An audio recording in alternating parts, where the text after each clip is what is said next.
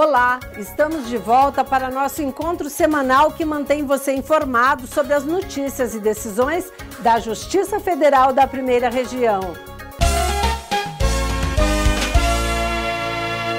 Atualmente no Brasil, os homens vivem sete anos menos do que as mulheres, situação que seria diferente se eles cuidassem melhor da saúde. Saiba a importância da prevenção nos casos de câncer de próstata, uma das doenças que mais atinge o público masculino.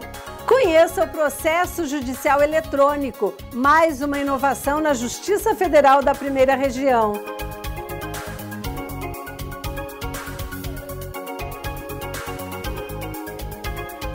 Está no ar Inteiro Teor, um programa do TRF da Primeira Região.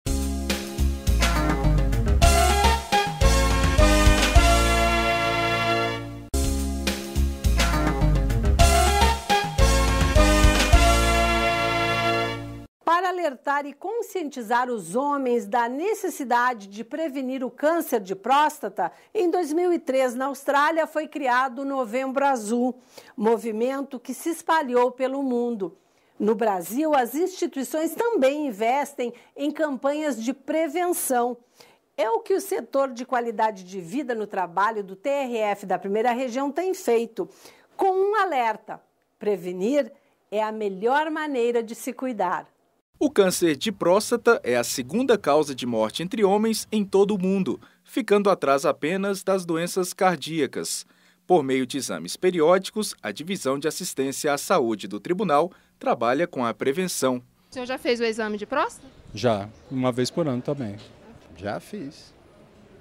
Tá? Não vejo preconceito com relação a isso, porque todo mundo sabe que é uma prevenção e que caso tenha alguma coisa a ser feita, é melhor que se faça antes, né? Em tempo de se curar se tiver alguma coisa a ser, né, algum problema que venha a ocorrer com isso. Não tenho preconceito e vou anualmente ao proctologista. No entanto, o preconceito contra o exame preventivo do câncer de próstata ainda prevalece entre os homens. Não, estou abaixo dos 30 e estou com 37 ainda, querido. Espero que quando eu tiver os 50, a tecnologia já esteja mais disponível do que o dedo do médico. A masculinidade do homem independe do exame de toque retal. Né? O exame de toque é um exame que não tira a masculinidade de ninguém, é um exame corriqueiro no consultório do urologista, ele é feito em segundos né? e é um exame que dá muita informação. Então a gente sabe que a masculinidade não está aí. Os homens precisam perder esse preconceito. O INCA, Instituto Nacional do Câncer, estima para o ano de 2014 580 mil novos casos de câncer no país, sendo 68 mil de câncer de próstata. Trabalhando na prevenção, o tribunal também promove palestras de conscientização, como a ministrada pelo oncologista Fernando Maluf, com a temática Prevenir é a melhor maneira de se cuidar. É muito importante que o homem atente a ir ao médico, não de forma reativa, ou seja, quando tem sintomas, mas sim quando ele vai fazer uma avaliação rotineira, ou seja, sem sintomas. O homem no Brasil vive em média 7 a 8 anos menos do que as mulheres. E parte, ou em grande parte, desse dado é porque os homens, na verdade, diferente das mulheres, vão ao procurar o médico quando os sintomas aparecem que muitas vezes podem ser relacionados a doenças graves. Uma doença tratável quando diagnosticada precocemente. Essa doença, ah, quando diagnosticada, pode ter várias formas de tratamento, que são discutidas caso a caso, e que podem variar desde observação em casos específicos até tratamentos cirúrgicos e radioterápicos. Quando a doença é mais avançada, o tratamento envolve medicações, que melhoraram muito ao longo dos últimos cinco anos, para procurar controlar a doença do melhor jeito possível, tornando essa doença uma doença crônica. A mulher se cuida mais, talvez por é, critério social, né? Então, quando a, a, menina entra na puberdade, quando ela tem a sua primeira menstruação, a mãe leva a menina para uma consulta ginecológica, para as orientações em geral, e esse ginecologista acaba fazendo o acompanhamento anual da mulher, né?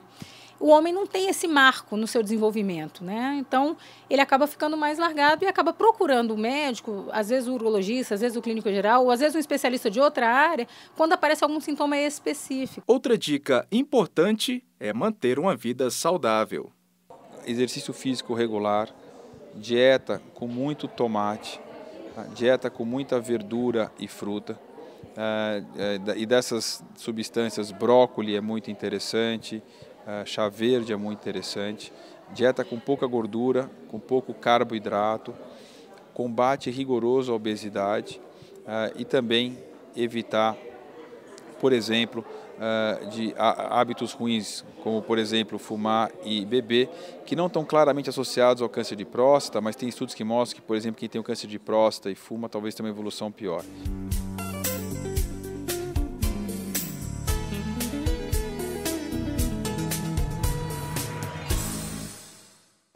Do intervalo, conheça o PJE, Processo Judicial Eletrônico, uma solução moderna, segura e transparente para agilizar a tramitação processual.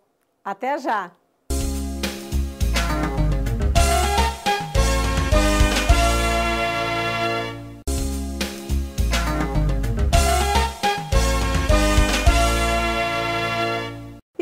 De volta com o nosso quadro Educação Corporativa. Hoje vamos falar de um tema extremamente importante para organizações públicas e privadas, que é qualidade. Mas afinal, do que trata a qualidade? Qualidade nada mais é do que tentar equacionar recursos dentro de um padrão mínimo estabelecido de qualidade que assegure uma entrega assertiva, seja para a sociedade ou para o cliente. Nos anos 80, talvez por conta de um autor chamado Demin, o ciclo virtuoso da qualidade, também conhecido como PDCA, ele se fez bastante presente. E não por menos, até os dias atuais, é amplamente utilizado por todas as organizações. Mas afinal, do que trata esse ciclo virtuoso do aprimoramento continuado?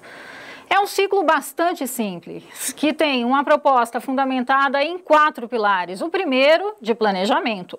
O segundo, de execução, o do em inglês. O terceiro, de monitoramento continuado, que vai gerar um controle sobre as metas, os objetivos propostos.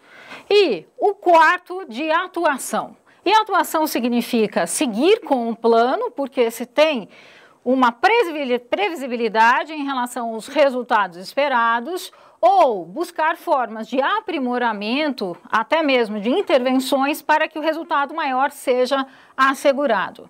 Então, implantar o ciclo virtuoso da qualidade, também conhecido como ciclo PDCA, é fundamental em todos os níveis estratégicos, desde o planejamento feito por um órgão da alta liderança, como um plano plurianual, até um plano de ação, um projeto, um programa de governo a ser implantado em diversos órgãos. Fica a dica e a sugestão para um aprimoramento maior a respeito do tema. Maiores informações www.empconsulting.com.br. O processo judicial eletrônico começa a funcionar no TRF e na Justiça Federal do DF. O sistema foi desenvolvido pelo Conselho Nacional de Justiça em parceria com os tribunais. A nova ferramenta proporciona mais praticidade, segurança e celeridade na tramitação processual. O dia 1 de dezembro de 2014 se tornou uma data importante para a Justiça Federal da Primeira Região. A data marcou a implantação do processo judicial eletrônico no TRF e na seção judiciária do Distrito Federal.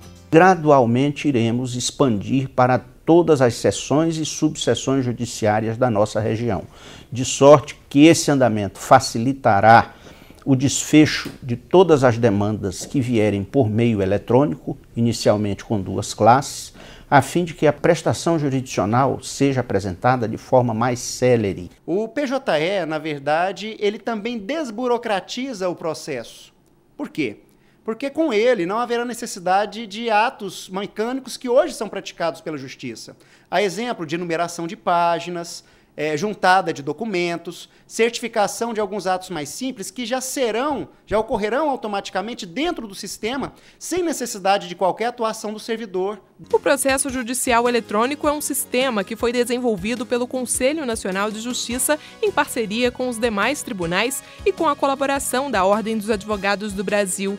A Caixa Econômica Federal foi quem entrou com o primeiro processo protocolado pelo novo sistema no TRF.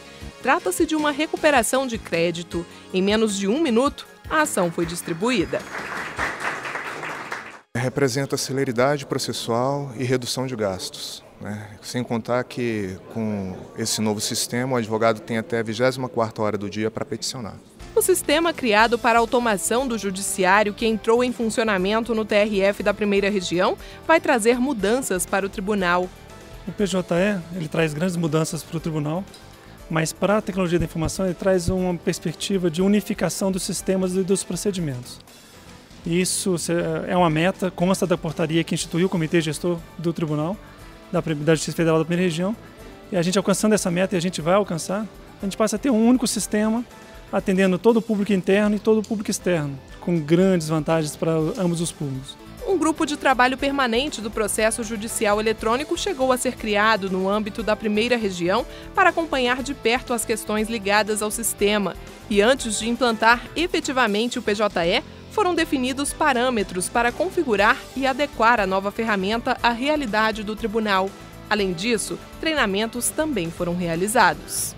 É bem valiosa essa instrução dada aos advogados, porque aqui nós estamos treinando os advogados multiplicadores. O PJE vai substituir gradualmente o EJUR, que foi implantado em 2010. O novo sistema é mais integrado e tem ainda outras vantagens. É um sistema assim que ele é mais integrado, ele tem várias ferramentas integradas. O EJUR ele trabalha com, você depende de outras ferramentas externas para você fazer o efetivo processamento de um, de um processo. É, o EJUR ele é digital, enquanto o PJE é um processamento eletrônico. O processo todo ele está ali, ele não, não são peças digitalizadas. Acesso ao PJE pode ser feito por meio do site do tribunal www.trf1.jus.br ou diretamente pelo endereço do sistema pje.trf1.jus.br. Depois do intervalo, eu converso com o juiz federal Marcelo Albernaz. Vamos saber mais sobre este novo sistema de tramitação processual na justiça brasileira, o PJE. Já voltamos.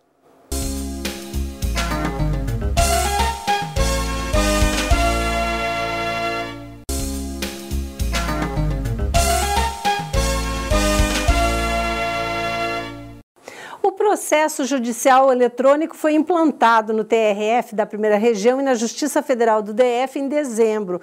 E o juiz federal, em auxílio à Corregedoria Regional, Marcelo Albernaz, participou de todo o processo de implantação da nova ferramenta. Qual a importância, doutor Marcelo, do PJE para a justiça brasileira?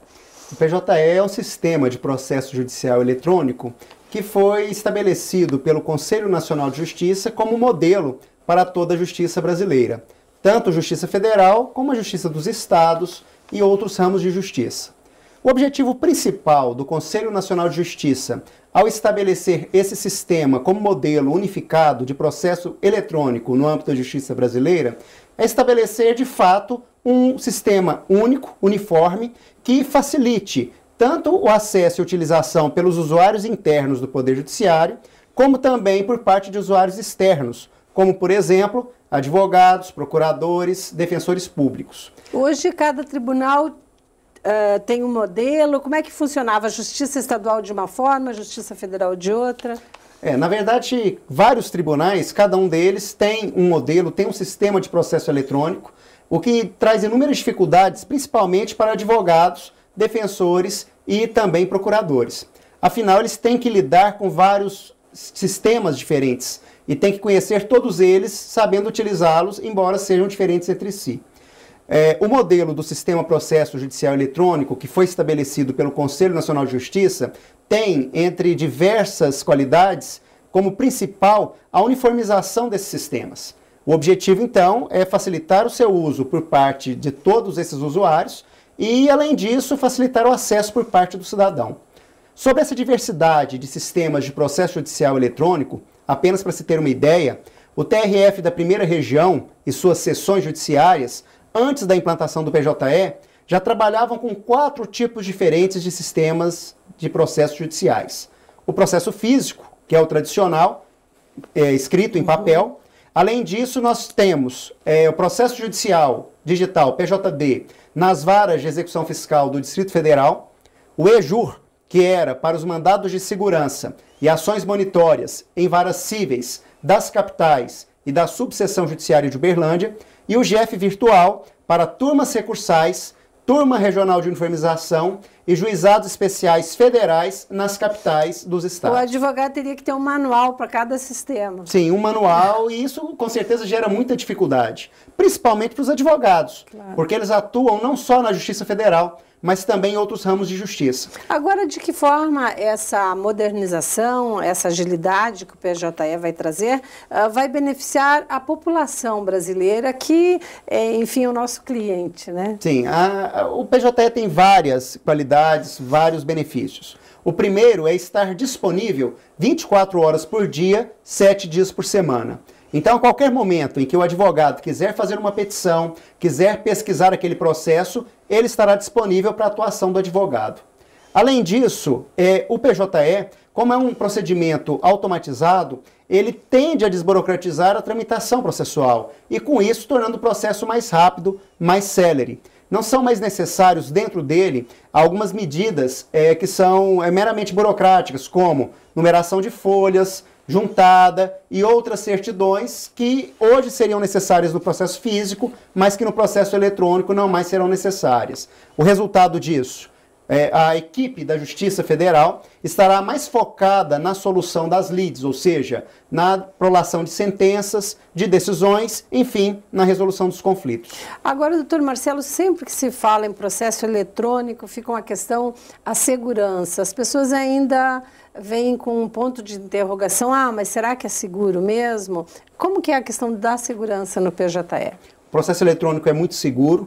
Na verdade, o próprio sistema, o programa, ele é gerenciado pelo CNJ, que é quem tem autonomia para efetuar alterações nesse sistema, nesse programa. A partir daí, esse sistema é disponibilizado para os tribunais. A sua utilização pressupõe o uso de alguns mecanismos também que garantem a segurança, como, por exemplo, peticionamento e decisões apenas com certificado digital do advogado, no caso do peticionamento, ou do procurador, ou do defensor público, e no caso das decisões e sentenças, com certificado digital do juiz. Ou seja, esse certificado digital é que confere autenticidade com um nível é, conveniente, né? um nível elevado de segurança na autenticidade desses atos. É que ganha a justiça brasileira e ganha o cidadão. Com certeza, ganham todos. Certo. Agora, o senhor, já que estamos falando em transparência, o senhor também é juiz em auxílio à corregedoria do tribunal, que eh, abrange né, eh, 14 estados, 13 estados e o Distrito Federal. Ah, como que tem sido essa atuação da corregedoria? Como é que o senhor vê essa atuação numa região tão grande como a primeira região? É, de fato, a primeira região ela é muito extensa. Como já foi dito, ela é integrada por três estados e o Distrito Federal. É, nesses estados, praticamente em todos, há também subseções judiciárias no interior, de modo que a estrutura da Justiça Federal da primeira região hoje é muito ampla. A corregedoria, apesar disso, embora tenha algumas limitações no quantitativo de servidores e de juízes, tem é, atuado de forma a exercer o seu papel de fiscalização e de orientação em toda a região. Tem cumprido meta do CNJ de que sejam feitas correições em 50% das unidades jurisdicionais a cada ano e também tem exercido primordialmente no seu papel de orientação, editando provimentos, circulares, orientações, no, com o objetivo claro de facilitar a atuação dos órgãos judiciários que integram a primeira região e de uniformizar procedimentos. E quais os problemas que ainda chegam ao TRF da primeira região, à corregedoria, com relação à atuação de magistrado, de servidores? Sim, é, os problemas são mínimos diante de toda a estrutura e do número de servidores e de magistrados da primeira região. São pouquíssimos casos. Há relatos de excesso de prazo em algumas situações, mas em praticamente todos esses casos, essas situações de uma eventual demora decorrem da própria deficiência da estrutura. A região cresceu muito, né? é, há ainda falta de juízes é, em muitas varas. Mesmo assim, o tribunal, e isso com a atuação permanente da corregedoria, tem buscado minimizar essas situações, seja atuando é, com mutirões, com juizados itinerantes, enfim, buscando soluções alternativas para minimizar essas deficiências que ainda existem. Porque há um, a primeira região é muito grande, há um número de magistrados ainda pequeno e de servidores também. Sim, é um de problema antigo do tribunal. De fato, é, em relação a servidores, o número ainda é reduzido, é, comparando-se com o quantitativo de processos. E de juízes, embora haja vagas disponíveis, ainda não houve possibilidade de prover todas elas, porque nos concursos a aprovação de magistrados, de candidatos para magistrados, é inferior ao número de vagas que são disponibilizadas. Esperamos aí que em alguns anos consigamos prover esses cargos e diminuir essas deficiências. E o senhor atua também, o doutor Marcelo atua na escola de magistratura e nesse momento se prepara um curso de formação dos novos magistrados. Qual a importância da qualificação desses novos juízes? Sim, a Escola da Magistratura Federal é, efetuou o planejamento de um curso de formação inicial dos juízes aprovados no 15º concurso promovido pelo TRF da primeira região. É, nesse planejamento, tomou-se por base o curso anterior, que foi bem sucedido, e também as avaliações desse curso anterior, o que permitiu que a escola, nesse planejamento, corrigisse eventuais pontos que não tenham sido muito positivos no curso anterior, é, facilitando ou tornando o, o curso, o novo curso, um curso mais adequado às necessidades. A ideia básica desse novo curso de formação inicial é o de mesclar etapas teóricas com etapas práticas, já que isso proporcionará uma, um aprendizado melhor por parte dos novos juízes. A importância da formação é indiscutível. Uhum. Um juiz bem preparado, não apenas no aspecto teórico, que é aferido por ocasião do concurso público, mas também no aspecto prático, que já saiba conduzir audiências, que já saiba proferir sentenças, decisões, inclusive em matérias polêmicas, em matérias importantes, como, por exemplo, trabalho escravo, tráfico internacional de pessoas, eh, sequestro internacional de crianças, enfim, judicialização da saúde, em todos esses temas, será um juiz que, após essa preparação, estará mais habilitado ao exercício da função, produzirá mais, com mais qualidade enfim, é, será capaz de entregar uma prestação jurisdicional, além de célere, mais adequada ao anseio da população. Essa qualificação também é uma exigência do CNJ? Sim, na verdade, nós temos alguns regramentos que são impostos por instâncias superiores, como a Infam, que estabelece requisitos uhum. mínimos para esses cursos de formação inicial. Primeira exigência é que se faça o curso. A segunda é que ele tenha uma duração mínima de 480 horas aula distribuídas em quatro meses. Há uma base é, de currículo mínimo para esses cursos e, a partindo-se desses pressupostos, as escolas têm certa autonomia para definir o melhor modelo. O modelo que nós utilizamos para este curso de formação inicial dos candidatos aprovados no 15º concurso para juiz federal da primeira região é, foi o de mesclar etapas teóricas com etapas práticas, justamente objetivando um melhor aprendizado e um melhor aproveitamento durante o curso. Certo, doutor Marcelo, muito obrigada pela sua participação no Inteiro Teor e lembrando que juiz mais qualificado, Justiça Federal melhor. E o Inteiro Teor fica por aqui. Voltamos na semana que vem neste mesmo horário. Participe do nosso programa enviando sugestões para o e-mail inteiroteor.trf1.jus.br. Confira também o programa no portal do Tribunal no endereço trf1.jus.br. Até um próximo encontro.